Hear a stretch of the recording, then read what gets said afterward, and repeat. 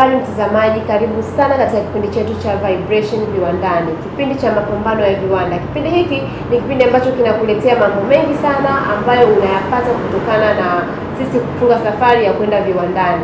Moja kwa moja tunaenda site ili uweze kuonana na wahusika na uweze kuona ni nini wanafanya wakiwa viwandani.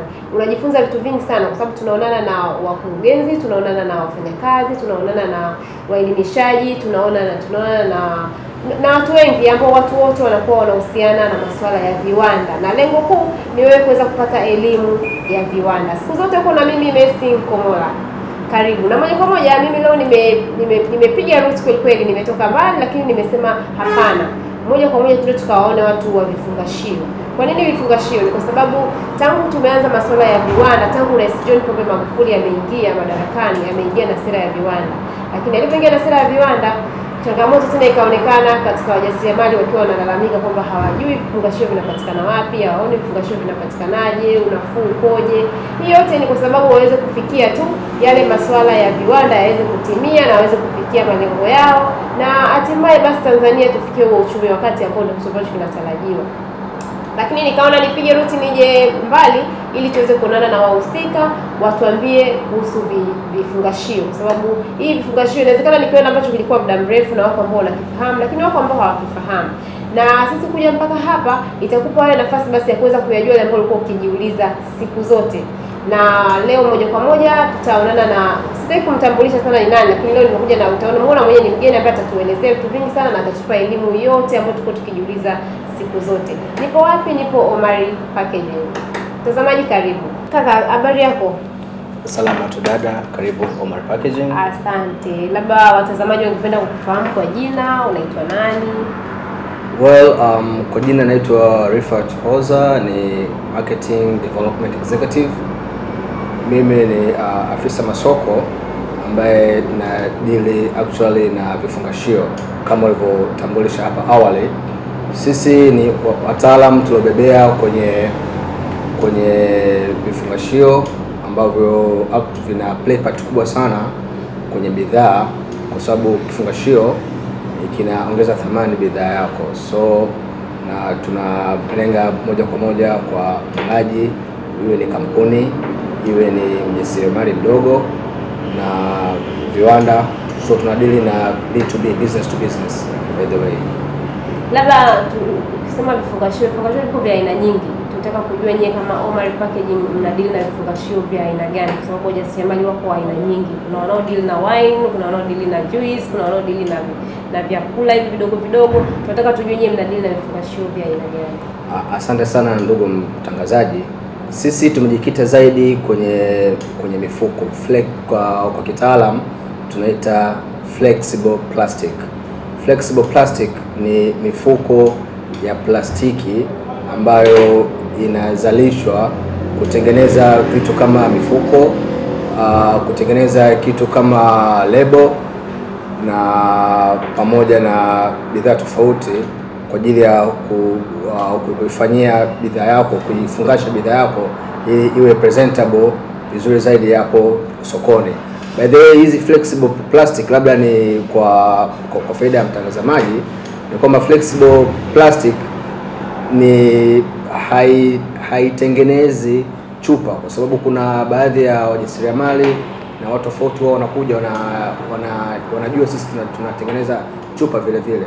Hapana, sisi chupa hatutengenezi chupa, sisi tunatengeneza uh, plastic bags pamoja na pamoja na lebo za maji, lebo za soda na zile wrapping za kurapia pipi pamoja na mifuko ya maziwa kama unavyoona hapo, na na plastic yoyote ambayo ni mfuko, sisi ndo tunayodeli nayo hapa actually.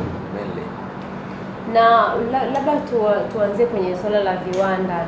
Nyie kama wana inawezekana kiwanda chenu ni cha muda mrefu hawakifahamu, lakini tangu alipoingia Rais John Pombe Magufuli na kuja na hii sera yake ya viwanda na kuwafanya watu wengi basi kuibuka na kuamka na sera ya viwanda kuifanyia kazi, nyie kama kiwanda cha vifungashio, labda utofauti ukoje au mwitikio ukoje kwa wateja? Uh, kwa kifupi ni kwamba kwanza historia ya Omary Packaging imeanza toka mwanzoni mwa miaka elfu mbili. Sisi ni wataalam sana, tupo muda mrefu sokoni, na kabla ya Magufuli, ningependa nianze kabla ya Magufuli. Kabla ya Magufuli tulikuwa tuna bezi sana na viwanda vikubwa vikubwa, large scale entrepreneur, these corporate companies ndio tulikuwa tuna bezi nazo sana sana.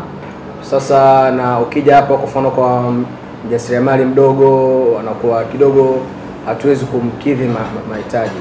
So baada ya Magufuli kuingia na hii sera mpya ya uchumi wa viwanda, na sisi tukasema kwa nini sisi tusimuunge mkono rais wetu pendwa Dr. John Joseph Magufuli kuhusiana na kusupport uh, vifungashio kwa sababu uh, wajasiriamali wengi wa- wa- walikuwa wanachukua vifungashio nje ya mipaka ya Tanzania. So tukasema kwa nini tusi tusiwalenge this type of group watu wa, wa hali ya chini these small scale entrepreneurs. Tukasema tuka kwa, kwa kutafuta solution hiyo tukaja na kitu cha kutengeneza stickers. Tukajua kwamba wajasiriamali obviously wana wa, mtu anaanza let's say anatengeneza pilipili, anatengeneza tomato sauce, anatengeneza wa, anatengeneza asali, uh, sabuni. So sisi hatuwezi tukampatia chupa, ila tunaweza tukam- tukamtengenezea tukamfanyia branding ya bidhaa yake kwa ajili ya ku raise awareness, hata akiingia sokoni awe ana uwezo wa kupeleka supermarket au ana uwezo kupeleka sehemu tofauti tofauti na akajulikana na akakuwa zaidi. So sisi tunatengeneza sasa hivi tunamlenga mjasiriamali kwa kumpatia stickers kama unavyoona ni bei nafuu za, zaidi. Uh, as well tunamtengenezea vile vile hizi security seal. Unajua sasa kuna wajasiriamali wengi sana wanafanya mambo ya spices, so sisi tunatengeneza security seals, tunatengeneza stickers uh, na vile vile tunatengeneza plain pouches, kwa sababu awali tulikuwa tunatengeneza tunatengeneza plain pouches ambazo hizi vile vile tunauza kwa pieces. Kwa hiyo hizo unaweza kuwekea korosho, unawekea karanga, unawekea bidhaa tofauti tofauti ambazo ni solid, sio liquid. Kwa maana hiyo, hapo awali tulikuwa tunatengeneza, ukitaka kuprintie kama hivi unatakiwa uwe na uh, na budget so chini ya milioni tano milioni tano milioni nne. Sasa kwa mtu mdogo mdogo anayeanza hawezi ku afford. Sasa tukasema kwa nini tusiwa tusiwatafute hawa tuka tuka accommodate tukawapa tuka uh, service. Kwa hiyo tukawa tuna tukapata solution na kutengeneza plain bags ambazo hizo unanunua kwa pisi ni bei nafuu zaidi pamoja na stickers. Ni ulipogusia kwenye swala la la, la, la gharama hapo Yes. ndio nilikuwa sasa nataka kufahamu kwamba pamoja kwamba mmewasaidia kuleta vifungashio kwa karibu ili wasihangaike tena kutafuta vifungashio mbali nje ya nchi, lakini urafiki wa bei ukoje? Kwa sababu wajasiriamali wengi bado unaonekana ni wale ambao wanaanza na wengine ambao wameshafikia uwezo wa kati, lakini bado hawajawa wakubwa zaidi. Urafiki wa bei ukoje, kwamba hata mtu anapotoa oda anapata unafuu gani kwa kuna unafuu? Uh, asante sana, swali zuri. Ni kwamba kwenye ishu, ishu ya bei kwanza, uh, inategemeana na material kwa kipindi hiko tumenunua kwa kiasi gani, kwa sababu sisi material uh, mbali na kuzalisha vile vile tuna import zile raw materials. Unajua, kabla ya mfuko kuwa mfuko hii finished goods, kuna vitu vinaitwa uh, LDPE, low density uh, polyethylene. Hizo ni ni vichengachenga ambavyo tuna import kutoka kwa uh, India, sometimes Canada.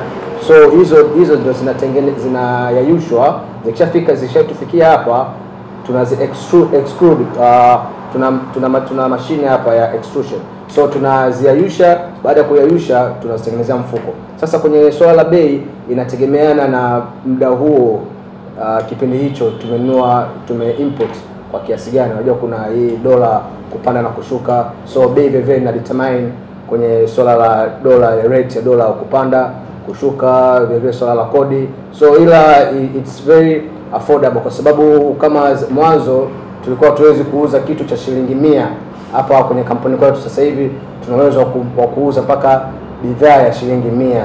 Just imagine, ni very affordable, na nawakaribisha wajasiriamali wote waje hapa kuja kututembelea na kupata knowledge na kuja kupata uh, bidhaa zenye ubora zaidi kwa ajili ya kukuza soko lao soko lao as well as kufanya kifungashio bidhaa yako kuongeza thamani bidhaa yako sokoni.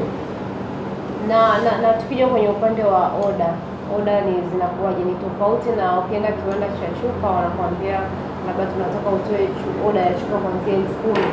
Sasa kwa nyie labda mtu akija tu ambaye ndo anaanza na anataka labda hizi lebo zake chache tu ili aanze aka- akaanze biashara nyie masharti yenu yakoje? Well, uh, kwenye swala la oda sisi tunaanzia tuna kiwango chetu tunaanzia uh, kupokea oda kuanzia kilo 300 kwenye hii mifuko ambayo printed as well as labels ambazo zilikuwa printed kama za maji na mifuko hiyo ambayo ilikuwa printed kama ya mikate ya unga ya mchele kama unavyoona ya ya korosho ni kilo 300 tatu unamaanisha mia tatu unamaanisha kama hii lebo hizi moja mbili tatu yani Yes, swali swali ni nzuri. No, nazungumzia kilo. Uh, kuna tofauti kati ya kilo na piece. Unajua kwenye kilo sisi hatuuzi kwa piece, tunauza kwa kilo. Kilo mia tatu kwa mfano kwenye mifuko tunapozungumzia kilo mia tatu kilo moja inawezekana ikawa na mifuko mia so kilo moja tunauza let's say kwa mfano labda elfu kumi so kwa mfuko moja automatically utauza shilingi mia kwa hiyo kilo moja inapatikana uh, mifuko mia. Hiyo ni mathalan, kwa sababu kilo vile vile inalitamani na size. Inawezekana ukawa kilo moja zikatoa pisi chache au kilo moja zikatoa pisi nyingi kutokana na size ya mfuko wako. Size ya mfuko ukiwa ni mkubwa, automatically number of pieces zitapungua, zitakuwa chache, ila kama size ya mfuko ukiwa ni mdogo, let's say mfuko wa gramu 500 uh, zinatoka mpaka pisi mpaka mia mbili ila kwa mfuko wa kilo tano zinatoka pisi mpaka 25 mpaka 27 so inategemeana na size ya mfuko wako kwenye kilo. Mwanzoni tulikuwa tunachukua oda kubwa kuanzia kilo 500 kilo 600 sasa uh, malalamiko complaints zilikuwa nyingi kutoka kwa wafanyabiashara tukawa tunalenga wafanyabiashara wakubwa tu ila kwa mjasiriamali mtu ukimwambia achukue kilo kilo 500 tani moja anakuwa hawezi ku afford kwa sababu hapo unatakiwa uh, unaweza ukawa unatakiwa uinvest kama milioni kumi pengine saba. Sasa kwa, kwa, kwa hizi kilo mia tatu mpaka milioni uh, milioni tatu milioni nne unaweza ukachukua mifuko ambayo iko printed ambayo imekuwa imethibitishwa na, NATIGES ambayo hii haijapigwa marufuku tofauti na mifuko ambayo iliyopigwa marufuku ambayo ni ya, ya kubebea. Sisi hapa tunatengeneza kifungashio kifungasho, sio sio ile uh, uh, carrying bags yeah. na, na, na malengo yenu sasa ya- yakoje malengo ya ya muda mrefu kwa wanaviwanda Okay.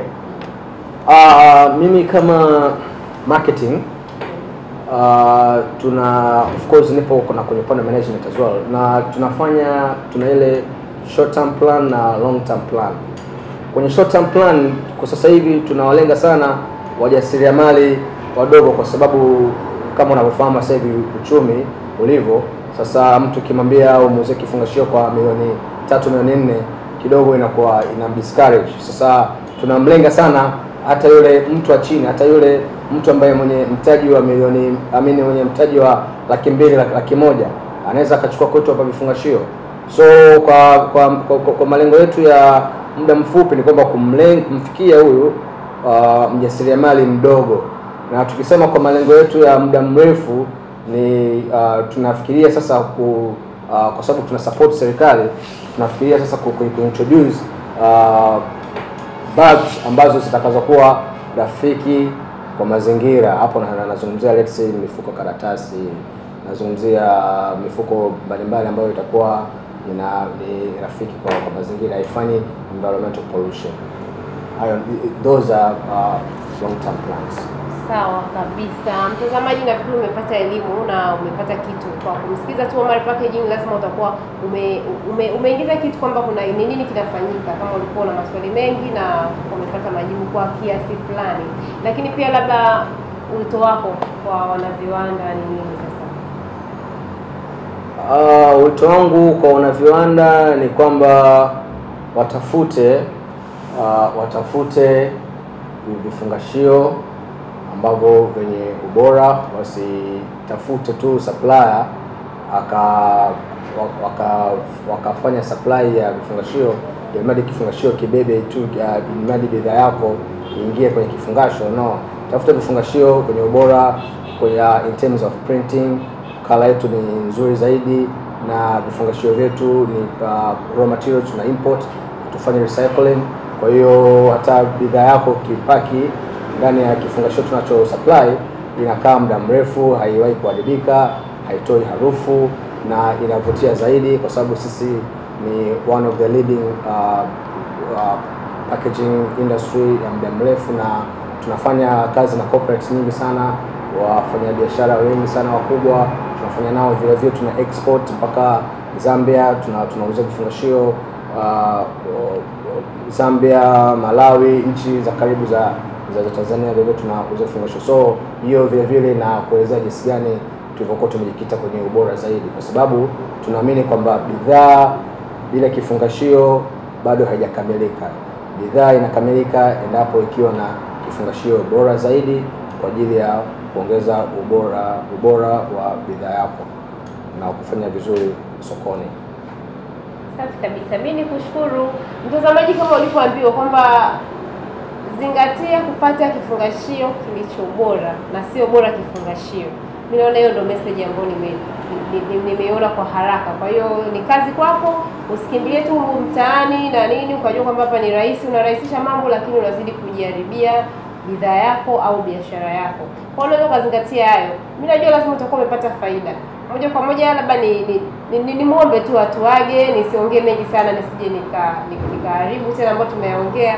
Kwa labda anaweza. Ah, kwa kumalizia ni kwamba ningependa kuwakaribisha uh, Omar Packaging Industries Limited. Tupo Nyerere Road uh, opposite na na Sido hii ya ya wajasiriamali. Sisi tunatengeneza vifungashio bora zaidi na tunaungana kabisa na slogan ya ya awamu hii kwamba uchumi wa viwanda kwa maendeleo ya taifa, na sisi tumejikita zaidi na viwanda. So karibuni tutengeneze uh, future ya Tanzania, kwa sababu future ya Tanzania it depends on industries, na sisi ndo viwanda vyenyewe. Karibuni tuwe wajasiriamali, karibuni kwenye fursa, tuongeze fursa, tupate uh, tuweze kutengeneza viwanda ambavyo vitakavyo empower mambo ya employment na uh, na vitu kama hivyo, ili kwa ajili ya kufanya vizuri kabisa Tanzania na nje ya Tanzania. Mimi sina la kusema zaidi. Mwisho wa kipindi cha leo ndo mwanzo wa kipindi kijacho.